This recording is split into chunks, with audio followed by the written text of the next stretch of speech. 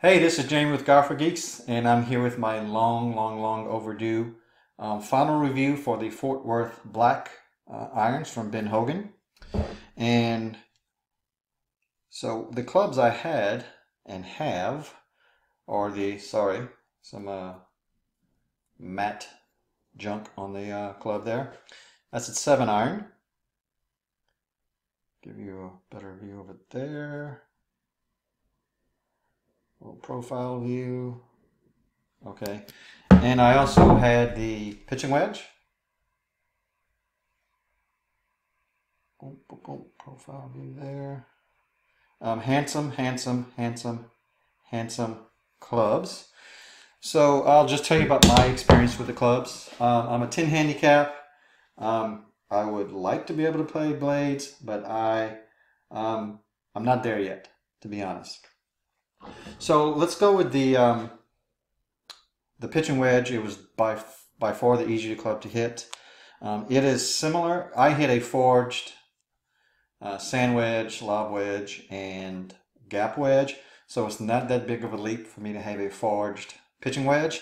And this thing was easy, easy, easy to hit. It sets up beautifully uh, behind the ball. Um, so that's owed one to the dark color. It frames the ball beautifully. It's also due to the design of the club. It's just, it just looks great behind the ball. So unless you're a rank, rank, rank beginner, this will not scare you to set up behind a ball and take a full swing or a half swing or a pitch shot or anything you want to do. Um, I can recommend this club wholeheartedly. Uh, they do not sell partial sets though at least not brand new ones. You can maybe find them um, online, eBay. Sorry, just trying to get in frame here. Um, so next thing is the seven iron. So the first time I took this uh, to the range, uh, we had to hit off mats, and I was hitting it like a god, and I couldn't believe it. It went as high, same trajectory, same flight as my current seven iron, which is a Big Bertha um, Fusion from 2008 uh, with a titanium face. And it's a hot club. It gets the ball up quickly and it goes a long way, a lot of carry. Well, for me anyway. I carry my 7 iron around 165 or, or so, maybe a little bit more. And this one matched it shot for shot for shot off the mats. So I got perhaps a false sense of security off of that. Um, the first time I hit it, and to be honest, my swing fluctuates from day to day. You know, I'm a 10 handicapper, so I'm not going to go, I don't go out and nail the ball every single time. But when I'm on, I'm on, uh, if you kind of know the feeling. Um, so this, it actually off the turf and off of real conditions while I'm playing rounds. Took a little more practice, but once you get it, it it still hits beautifully. Gets the ball up in the air quickly. Uh, nice trajectory, nice carry. It holds the green nicely. And what I, I did find though is you don't lose a ton off of miss hits. And I, I missed towards the toe. If, I don't know if you can see the wear marks here. Yeah, you can. So this is where I hit the ball on any iron I hit. A little bit off the toe there. And so that's going to cost you, I don't know, five, six, seven, ten yards, um, depending on how well everything else goes in the swing. Um, so it's not like a shocking loss of distance or direction, or it's not like just hooking the ball off the course or slicing it off the course. It's got more forgiveness than the in other blades I've tried. and there is, I don't know if I mentioned this, a little bit of an intimidation factor when you set this behind the ball when compared to my clubs, which are kind of moving from the um,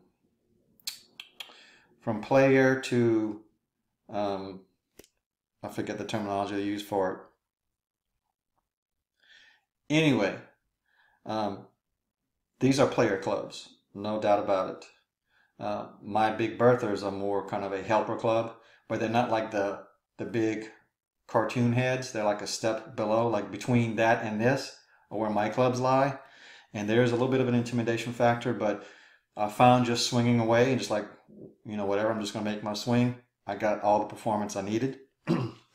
not as much forgiveness as my um, bigger heads with the titanium face, but pretty much all you can ask for. And what I can say is, if you strike the ball decently, um, unless you have to be mid mid handicap or lower, I would think, and you're thinking about blades, I wouldn't hesitate um, on recommending um, the Fort Worth Blacks.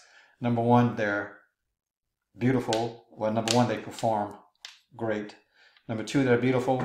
And number three, they're probably the cheapest blades and cheapest high quality irons you're ever going to get. so with Hogan, you buy directly from them. They don't really sell it through stores much or at all. And they custom make every set. So once you order a set, it's about two weeks before you get the set because it's all custom made and everything. So if you're thinking about blades, and man, if you see these in anyone's bag, you're gonna want them because uh, they are just crazy good looking and uh, just nice, nice, nice clubs. Um, all right, so that's what I think about the Fort Worth Blacks. Uh, I can recommend them if you're in any way inclined to get blades. Uh, I'm not there yet, especially when you start moving into six, five, and four, and three irons. I'm not there yet. But if I was, these would be the clubs, the Fort Worth Blacks. Anyway, guys, uh, thanks, and I'm sorry this took so long. I'll be producing more reviews and more videos on a more regular basis this year. And that's it, guys. Thank you and have a great day.